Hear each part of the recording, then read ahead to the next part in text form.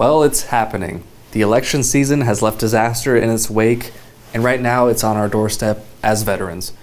This affects essentially every single one of us in more ways than we would think. I'm talking about the delays that we are experiencing to the $360 billion budget to the Veterans Affairs this upcoming year. I'm going to tell you how this could affect you, what's played out in the past, and ultimately what to do about it. I'm Jordan Anderson, VA Claims Academy. Let's get to it. The proposed $360 billion budget for the VA this upcoming year has hit a screeching halt. And this is going to cover certain things like infrastructure, you know, revitalizing a lot of these old rundown hospitals that you see, hirings, getting rid of that backlog. There have been times where the backlog has been extended due to lack of, you know, manpower in these staffing positions or not being able to backfill these positions due to budget constraints. This could even affect certain things like expanding healthcare services or even VA disability inclusivity like the PACT Act, which is set to expand by 21.5% to cover new toxins. We talked about in a previous video how that could potentially be jet fuel explicitly, things like this. Burn pits, of course, already covered. But this is a big deal because if you're someone you receive VA disability benefits or, or you go to the VA hospital or even you're a spouse of a veteran, this absolutely impacts you and affects you. Here's what's going on. President Joe Biden on Monday threatened to veto the House's $360 billion appropriations plan for the VA next year over restrictions on abortion and gender affirming care services included in the measure, accusing lawmakers of, quote, wasting time with partisan bills, according to militarytimes.com.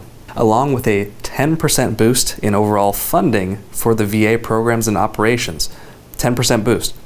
The House Republicans' appropriations plan includes language blocking the VA medical staff from conducting abortions or providing gender affirming care.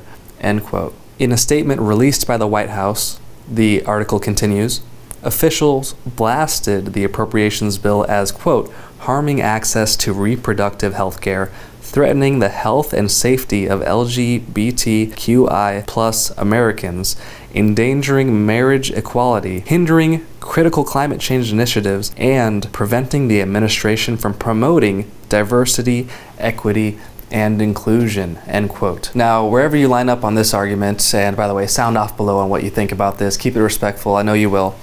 Uh, it's just unfortunate that because it's around election time, that any routine sort of approval has to become this big deal because there's talking points on both sides and it has to be this performative ordeal. So again, uh, us veterans are, are sort of caught in the crossfire, unfortunately, but the VA needs this funding and more importantly the VA needs to be effective with this funding.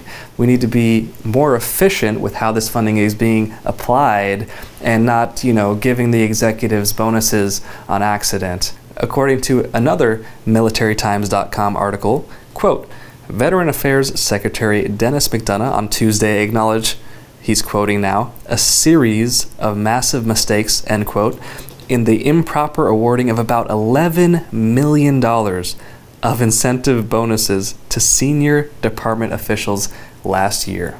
Now, all of this is happening, and I'll just give you my neutral opinion here. I'm not going to give an opinion on uh, the controversial topics here, yeah, obviously, but what I do hear from veterans every single day when I speak to them is that their most important issues seem to be the toxic exposure, getting their cancers, getting their um, you know ailments that they may have gotten caused from jet fuel, things like this in their service, where they were told, "Hey, suck it up, Buttercup. Don't go to medical. We'll take care of you down the line." And now they're struggling to get service connected for these conditions. It's almost as if the VA doesn't believe them, right? Like they're making it up. These seem to be the more important issues that should sort of be tackled and reformed in this process. I'm talking about the backlog as well, waiting half a year for your claims, waiting 1,000 days plus for your appeal in order to get a hearing.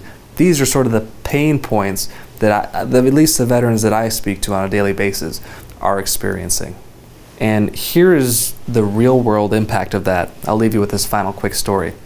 About three and a half weeks ago, got a call from a client, and he called a certain emergency hotline the type that you call when you need help immediately. They referred him to his local VA emergency room. He got there and was turned away to outside services. Sorry, we don't have a bed for you.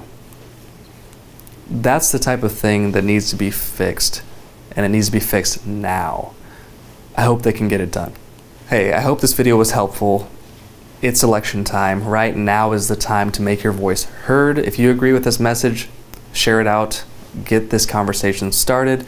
Get the dialogue started about down below. Again, keep it respectful. I know you will. Other than that, I'll see you in the next one. Cheers.